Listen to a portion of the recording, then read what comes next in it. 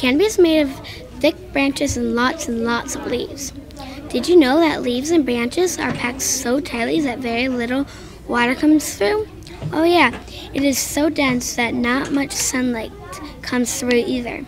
The canopy is kind of like a roof of the rainforest. Lots of plants and animals live there, like howler monkeys, spider monkeys, tree frogs, iguanas, bromeliads, and snakes. The drip tip is our long, sharp, pointed tip on some rainforest leaves. The tip allows water to flow down. There is so much rain the leaves have to get rid of it quickly. If there was no drip tip, the water would build up on the leaf and it would break.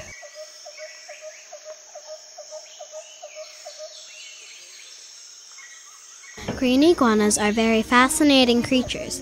Did you know that they have powerful legs so it makes it easier to climb and swim? Male iguanas have large scales under their ears. Also, green iguanas have spikes along their back and a large dewlap under their chin, kind of like a rooster's chin. They live in the canopy and the understory. When they need to escape a predator, they just drop down from a tree. They can fall 40 to 50 feet without getting hurt. Then, amazingly, they can go super fast thanks to those incredible legs.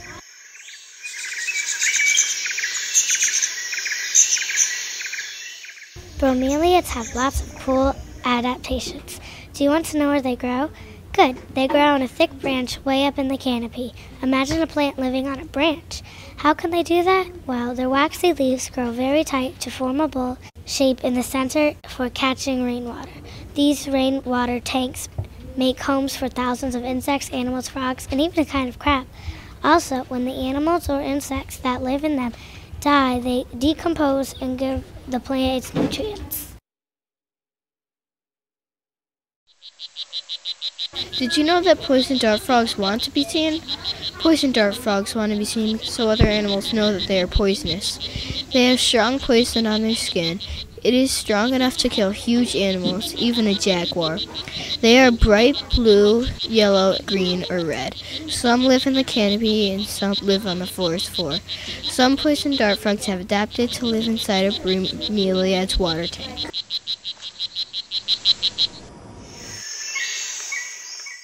Emerald tree boas live in trees in the canopy.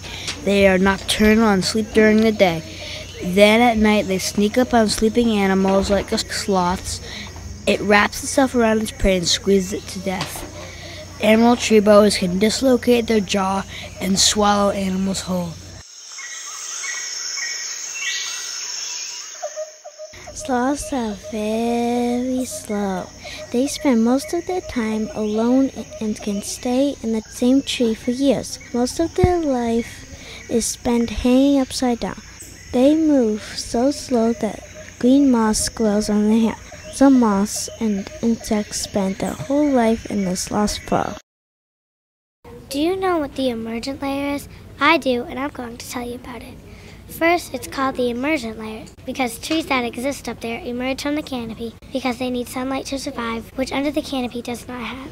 Did I mention it is very windy up in the emergent layer so that the tree trunks can get to be 16 feet around and 300 feet high?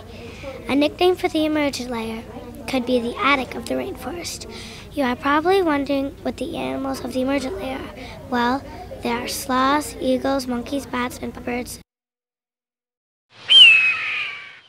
The harpy eagle is an amazing creature. Come with me and you will understand what I mean. Harpy eagles have a wonderful wingspan of seven feet. Harpy eagles nest in the top of kapok trees and go to the canopy to hunt. Oh, and by the way, the harpy eagle eats monkeys, sloths, and other birds. Harpy eagles have sharp hooked beaks to rip up their prey. Pretty gruesome, huh? Harpy eagles can weigh up to 18 pounds. Another amazing fact is that harpy eagles can fly 50 miles per hour. Hard to believe, isn't it? Well, now you understand why I say that they are amazing.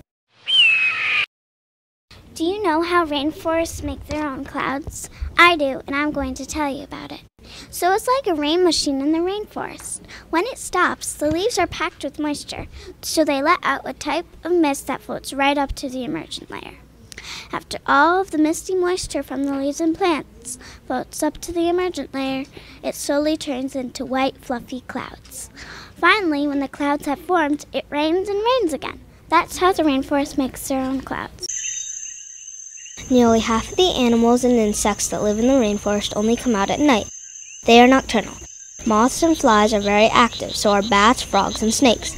Mammals like the kinkajou, tapir, and armadillo come out at night. Of course, all this nighttime activity also brings out the rainforest's big predators.